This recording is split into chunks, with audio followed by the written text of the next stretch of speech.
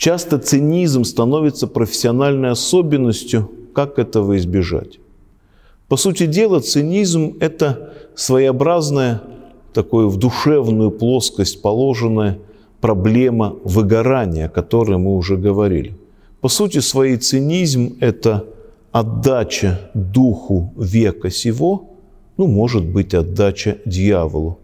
Чаще всего это так, когда человек перестает соответствовать своему христианскому призванию и сдается перед очевидным э, торжеством э, духа века сего. Как говорит Христос, по причине беззаконий во многих оскудеет любовь.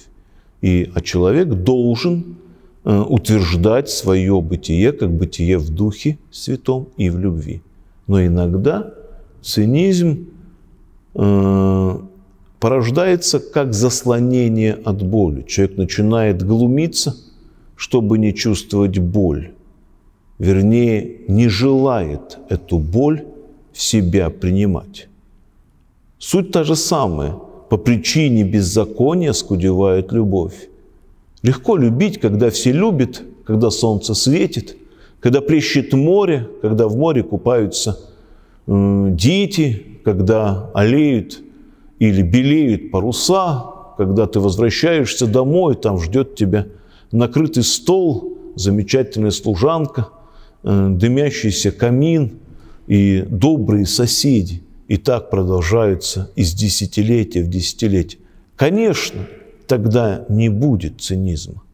И совсем другое дело, когда море грязное, из него выходит чудовище на на траверсе баражируют броненосцы и линкоры.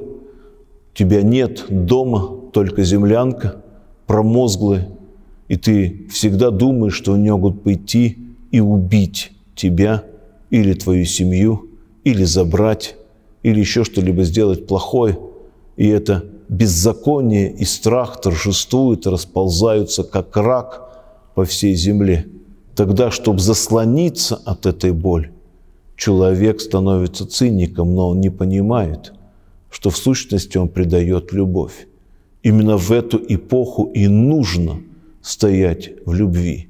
Если мы потеряем любовь, то мы потеряем и Христа. Потеряем благодать Святаго Духа и уже становимся не солью, нас бросают на попрание людям. Это невыносимо трудно в эти эпохи, а сохранять любовь. Любить всех, ну, скажем, на курорте легко, любить всех в морге невыносимо. Любить всех, скажем, на церковном собрании, э, церковном соборе замечательно. Любить всех, скажем, э, в месте, где лечатся наркоманы или дети с церебральным детским параличом, невыносимо.